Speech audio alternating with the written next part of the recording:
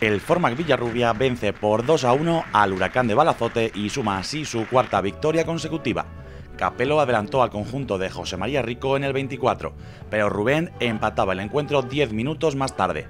Vera, con un auténtico golazo cuando el partido estaba a punto de finalizar, le daba los tres puntos al Villarrubia. Una primera parte en la que no hubo grandes llegadas a excepción de los goles, en un partido donde fue el conjunto local el que protagonizó las ocasiones de verdadero peligro y fue a por la victoria en todo momento. El primer tanto lo iba a anotar Capelo, tras esta gran jugada de Acevedo que pone el centro y Capelo completamente solo adelantaba al Formac Villarrubia. La celebración de Capelo con todo su banquillo y la alegría en la grada del estadio de Villarrubia de los Ojos. Ahí vemos la repetición, la gran acción de Acevedo y el tanto de Capelo, el 1-0 que lucía así en el luminoso. La ocasión ahora de Acevedo con este disparo lejano, pero Samu despejaba de puños. Y en el 35 iba a llegar el empate. El centro desde la izquierda, Joselito que se duerme y Rubén con este gran gesto técnico que se hace con la pelota y pone de nuevo las tablas en el marcador. Aquí vamos a ver la repetición. Rubén a placer, nada puede hacer Adri López. Y la última iba a ser para el Villarrubia antes del descanso.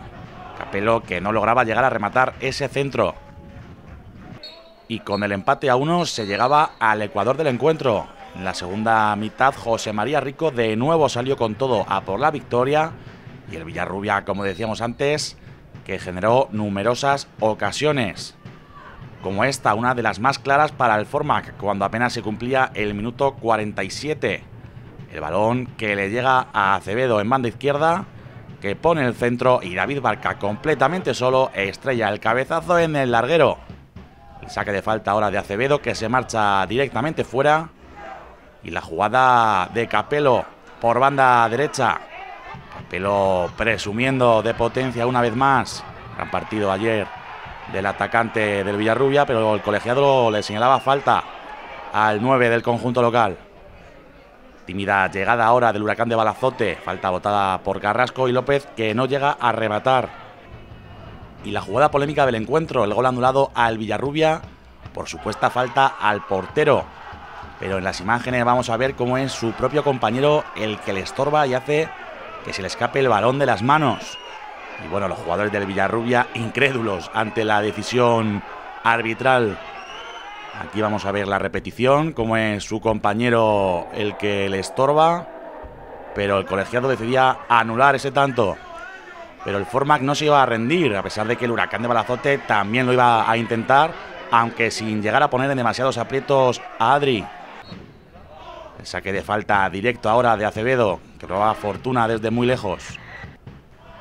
Y en el 86, ocasión clara para el Villarrubia. El balón que le cae a Adri, su disparo que toca en Vera y se envenena, pero Samu termina bloqueando ese balón.